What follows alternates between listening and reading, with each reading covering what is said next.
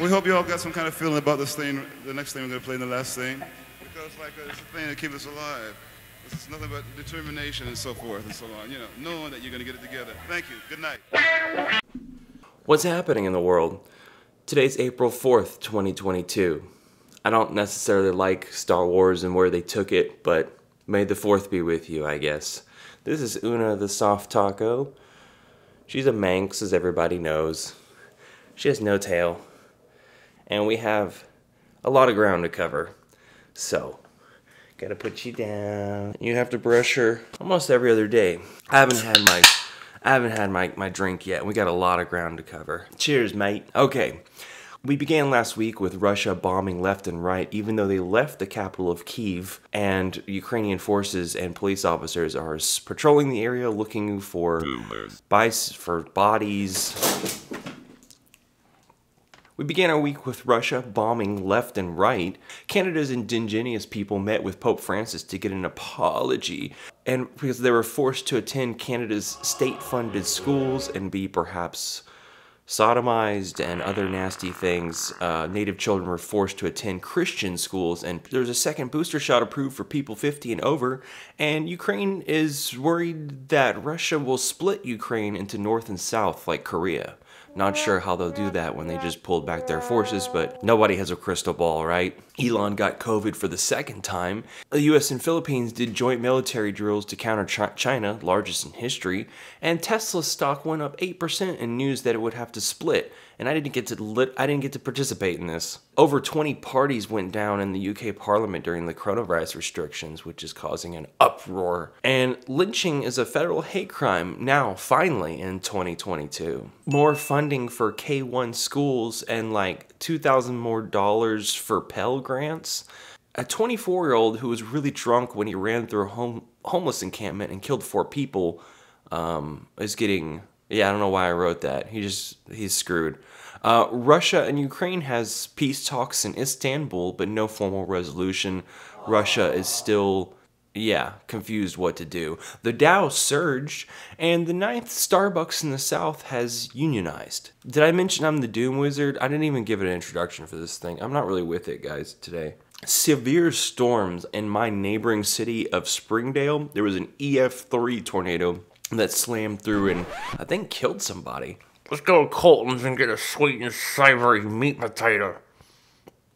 How about, how about them bra- how about them Razorbacks? Flash floods in Australian flash floods in Australian east coast for the second time in a month.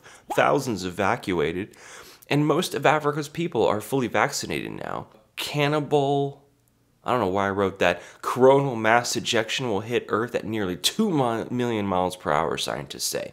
And climate change is increasing the speed of ocean sound transmission, threatening marine species as sound travels faster and becomes louder. Putin got bad information from his military leaders, apparently.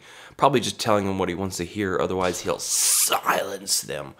Weekly unemployment claims up 14,000, and Pakistani leader asked to step down. They're in a constitutional crisis over there. There was tornado watches in southern Georgia and northern Florida and in fact numerous tornadoes in several states.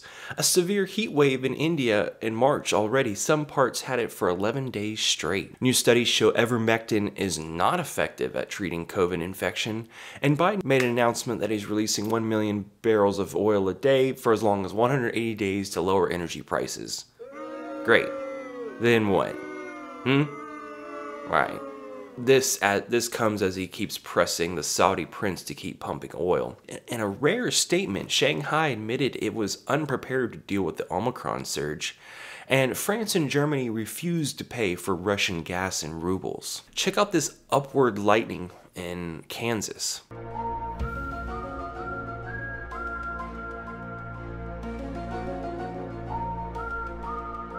A vegan Burger King opens in London and a deadly 50 car pileup in Pennsylvania. Starting next month, oh joy, oh joy, starting next month, you can mark gender as X on your passport. Hmm, okay. Federal officials tapped 420 million to boost water supplies in several rural water projects in several states. All in all, it's about 5 billion for western water programs with 20% of that dedicated to rural projects. And this from Virginia tech researchers in collaboration with the Pacific Northwest National Laboratory for discovery that key parts of the global carbon cycle used to track movement of carbon dioxide are incorrect. Either the amount of carbon coming out of the atmosphere from the plants is wrong, or the amount coming out from the soil is wrong, said Meredith Steele, an assistant professor. Climate change will also increase cases of hypothermia or low sodium levels. I don't think that's hypothermia. I meant I didn't write. I wrote that wrong, or it auto it auto corrected me by 13.9% above 15C. 431,000 jobs added last month in March, and Biden said new cars sold need to have a miles per gallon of 40. El Salvador claims a state of emergency after a deadliest stay in 30 years, and Spain's solar energy crisis leaves 62,000 people bankrupt after investing in solar panels. Ukraine and Russia exchange 82 POWs, and Ukraine says Russia is taking children. Will Smith resigns from Academy membership. Big deal. And Russian forces have been pushed back from Kiev. Again.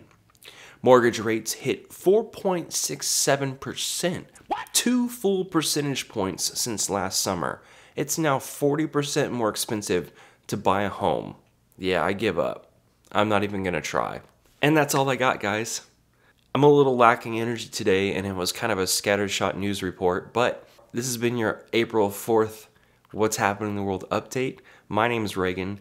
Thank you to all my Patreon and PayPal supporters. You help keep this program going as I enjoy doing it every week. This is about the 50th episode. I have never stopped doing this every single week, every single Monday. Thank you and have a great day. Ciao.